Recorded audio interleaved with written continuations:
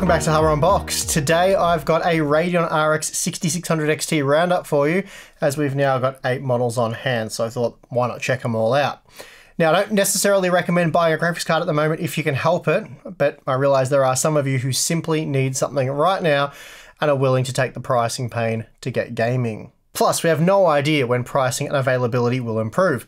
We could very well be faced with the same situation in a year's time, and God forbid it could get even worse. But as bad as pricing and availability is of the 6600 XT right now, it is actually as good as it gets, at least here in Australia. We have multiple 6600 XT models available for between 750 and $800 Australian, and that's pretty good given the other side of the aisle is offering a GTX 1660 Super for the same money. Or you can have a lovely GTX 1050 Ti for $450 Australian. I think I threw up a little bit in my mouth there, so sorry about that.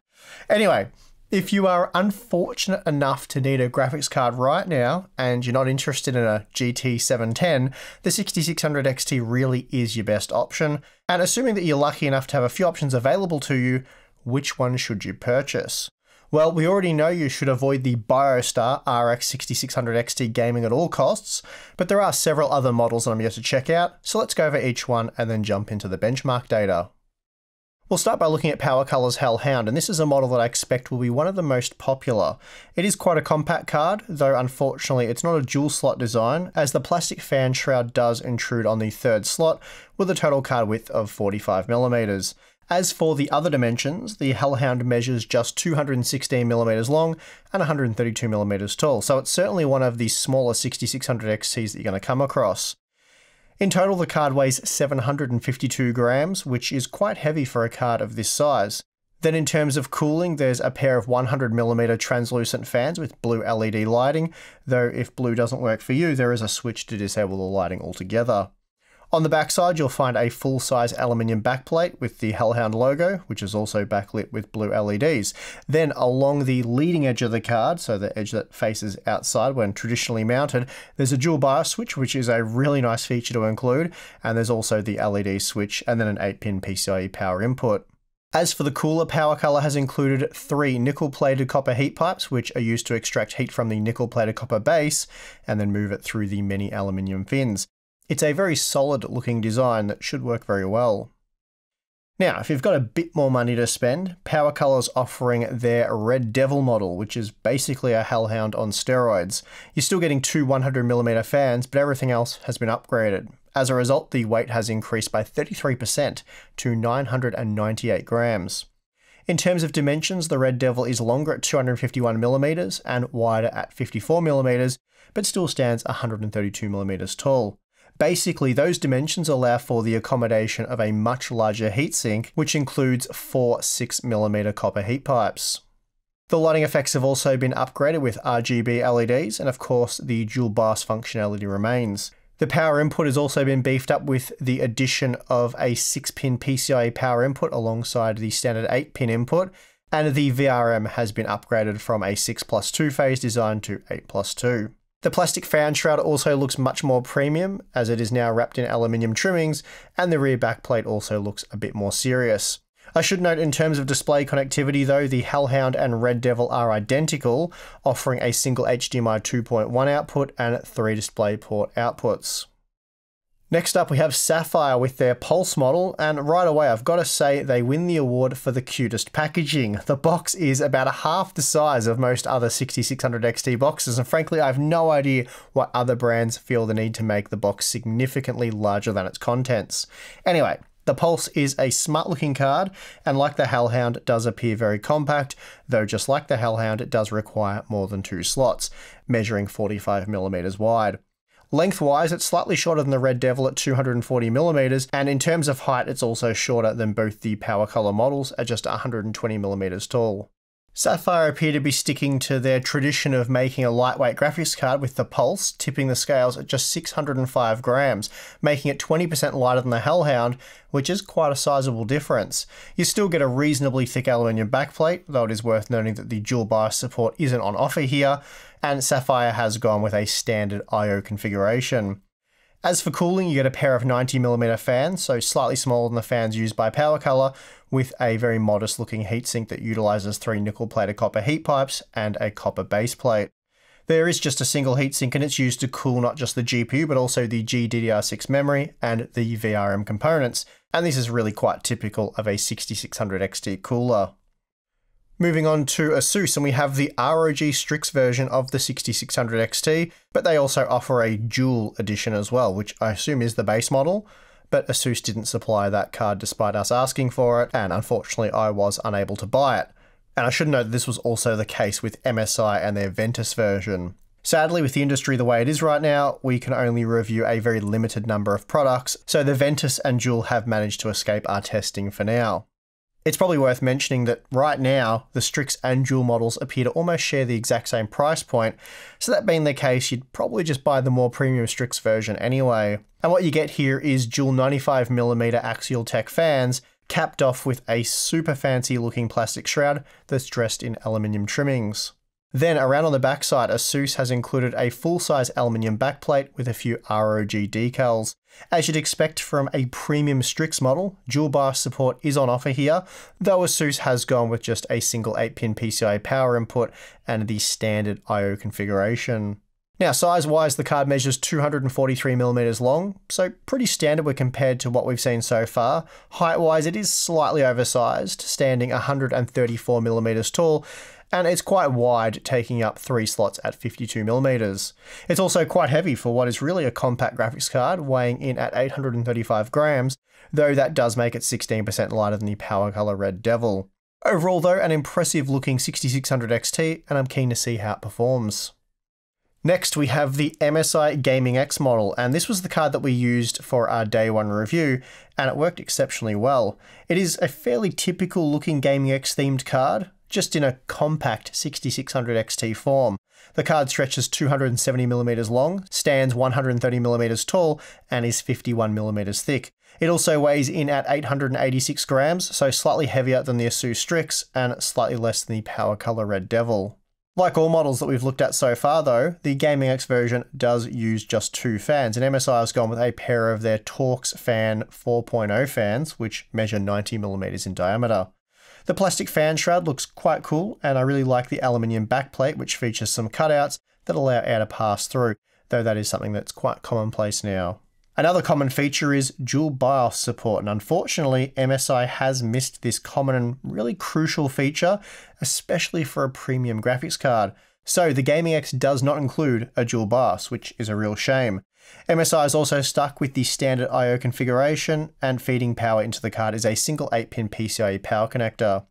Overall, it's a pretty standard looking 6600 XT, with perhaps the exception of the hunking great cooler MSI slapped on, featuring two large arrays of aluminium fins and three nickel plated copper heat pipes, which extract heat from the nickel plated copper base and then transfer it through the many fins. So the Gaming X should perform very well, it's just a shame the feature list isn't a little more impressive. Now, XFX is bucking the trend of compact dual fan coolers with the Speedster Merc 308 by including three 80mm fans for a total card length of 270mm, so 11% longer than the MSI Gaming X model. That said, it's not excessively wide at 50mm, though it will take up three slots. It also measures 118mm tall, which is a fairly standard height for a full-size graphics card. Weight-wise, it's up there with the heaviest at 896 grams, so basically the same weight as the Gaming X. However, unlike MSI and their Gaming X card, XFX has graced the Speedster Merc 308 with dual BIOS functionality, so that is great to see. Design wise, the Merc, in my opinion, looks great. I really like how the fan shroud is encased in aluminium and the silver trimmings that wrap around both sides look really good. The full length aluminium backplate also wraps around the far end of the card, and this ensures that the Merc looks really impressive from all angles. Also, the Edge Lit XFX and Radeon logos look great and are a very cool addition in my opinion, and this is probably the best looking 6600 XT once it's installed in your case. As for cooling, the Merc also looks very promising with a full-length aluminium finned heatsink riddled with four nickel plated copper heat pipes that extend out the left and right sides of the nickel plated copper base, which has been used to cool both the GPU and GDDR6 memory. So what we have is another 6600 XT that should perform very well in our thermal testing. Then last up we have the Gigabyte Gaming OC, which is another triple fan card, though this one's even longer at 282mm despite using 80mm fans. Widthwise though, it is the same at 50mm, and the height is also roughly the same at 115mm. Given those dimensions, it probably won't surprise you to learn that it also weighs a similar amount to that of the MSI Gaming X and XFX Speedster Merc at 837 grams. Now, Gigabyte only offers two versions of the 6600 XT, and both use a triple fan cooler, with the alternate option being the Eagle version. Now, I have no idea how the Gaming OC is meant to be priced relative to the Eagle, but it probably doesn't matter right now. What I can tell you is the Gaming OC is pretty basic with no extra features such as dual BIOS support. You just get a standard 8-pin PCIe power input and then the standard I.O. configuration with the triple fan cooler. But even the cooler is pretty basic with three direct touch copper heat pipes, so there's no copper base here, and the heat pipes aren't nickel plated. The card should work well enough though, but it's certainly a much more simplistic approach than what we've seen from others. Okay, so we've briefly looked at each of the models that we'll be testing. Now it's time to get into the results. Before we do though, please note that all cards were tested inside an enclosed system in a standard horizontal orientation. The case used is the Corsair Obsidian Series 500D, and then inside we have the Ryzen 9 5950X test CPU, which was cooled using the Corsair iCUE Elite Capellix all-in-one liquid cooler, which was front-mounted and therefore dumped heat into the case. Also, please note all testing was conducted in a 21 degree room, and I've provided out of the box thermal results as well as 40 decibel noise normalized testing. Okay, let's get into the results. Starting with out of the box GPU hotspot temperatures, we see that the PowerColor Red Devil performs exceptionally well, peaking at just 74 degrees, making it a degree cooler than the Asus ROG Strix, which was running at a much higher 2000 RPM fan speed and was generating noticeably more noise. Then we have the MSI Gaming X, which was reported to be running 6 degrees hotter, but with an 1100 RPM fan speed, it was so quiet that I couldn't actually accurately measure the operating volume. The PowerColor Hellhound was also exceptionally good, and while the Gigabyte Gaming OC also looked quite impressive at 81 degrees, note that we're looking at an almost 2000 RPM fan speed for that model. Then we have the XFX Speedster Merc 308, which was extremely quiet, though the hotspot did reach 90 degrees, which is still perfectly acceptable, but probably not quite as good as what I was expecting from this model. The Sapphire Pulse was comparatively much better, also hitting 90 degrees, but with a significantly lower fan speed and therefore ran much quieter. Then finally, we have the disaster that is the Biostar Gaming, which was not only the hottest card, but also by far the loudest. For those of you interested, here are the GPU edge temperatures. When compared to the hotspot temperatures, the edge temperatures are not only much lower, but they do also mix up the standings as the Asus Strix model is now the coolest and by a 4 degree margin. That said, Power Color still looks great here with the Red Devil and Hellhound picking up the second and third spots respectively. Now, with all eight models normalized to 40 decibels, this is how they compare. And I should note that the quietest I was able to get the Biostar gaming card was 42 decibels, and here it hit 106 degrees, so that is a clear fail for this test. The rest of the field, though, was quite evenly matched, with no more than a 12 degree variance between the best and worst models. The best examples being the MSI Gaming X and PowerColor Red Devil, both of which peaked at just 70 degrees. The PowerColor Hellhound was also excellent at 71 degrees, and quite shockingly, that meant it was 4 degrees cooler than the Asus Strix, which peaked at 75 degrees. So, still a great result there, but you'd probably expect a Strix card to beat the Hellhound. The XFX Speedster Merc and Sapphire Pulse did reasonably well. They were, after all, just 8 degrees hotter than the best performing models, so certainly an acceptable result there. Then we have the Gigabyte Gaming OC at 82 degrees, which was the worst result of the partner cards outside of the Biostar model. Still, 82 degrees is very much a pass, but there were numerous better performing options, which doesn't bode particularly well for Gigabyte. The standings are fairly similar when looking at the edge temperatures. The PowerColor Red Devil nudges a few degrees lower than the MSI Gaming X, which peaked at 57 degrees, and that's where it matched the Asus Strix and PowerColor Hellhound. Again, the XFX Speedster wasn't too far behind, nor was the Sapphire Pulse, and although the Gigabyte Gaming OC was the worst of the big players, the results were still very acceptable. So there you have it. That's how these Radeon RX 6600 XT board partner cards compare. And while we weren't able to get our hands on every single last one of them, I think this is a pretty good sample of cards. Now, if you're confused why I didn't include any gaming benchmarks, it's because they're a complete waste of runtime. The performance difference between the AMD base spec and the absolute fastest factory overclock 6600 XT is 4% on average, and perhaps I'll provide an example of that. So rather than show multiple gaming graphs of eight 6600 XT models all delivering the exact same or virtually the same FPS figures, I'm just going to tell you that they're all virtually the same. Performance is irrelevant between these various models yeah, they're all much the same. On that note, overclocking each model is also a complete waste of my time, and worse still, it'd probably end up being quite misleading. Overclocking headroom will vary from one model to the next, even within the same product line, as the key differentiating factor here isn't power delivery or cooling performance, but rather the silicon quality. So a sample size of one is misleading at best, and even with a dozen versions of each model, I'd probably only be testing batch quality. Also, if you're wondering why I haven't included VRM and GDDR6 thermal data, it's because all cards run those components at very low temperatures, even the BioStar model. The fact is, 8GB of 16 gigabits per second GDDR6 memory doesn't get very hot at all, and only requires very basic cooling, which all models provide.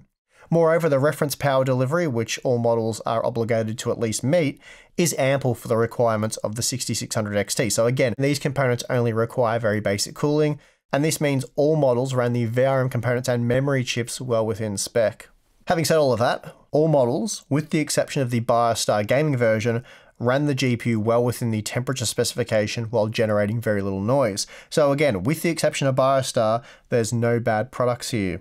Of course, the best examples were the MSI Gaming X, PowerColor Red Devil, and Hellhound, but they were really only a few degrees cooler than the Asus Strix, which was only a few degrees cooler than the Sapphire Pulse, XFX Speedster Merc, and Gigabyte Gaming OC.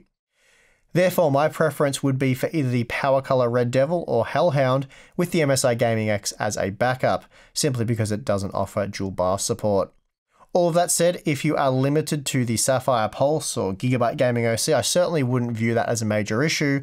So the good news is, for the most part, you can't go wrong with your 6600 XT purchase, at least if you're buying one of the MSI, PowerColor, Asus, XFX, Sapphire, or Gigabyte models tested here. And that is going to do it for this video. If you enjoyed it, give it a thumbs up. You can also subscribe for more content.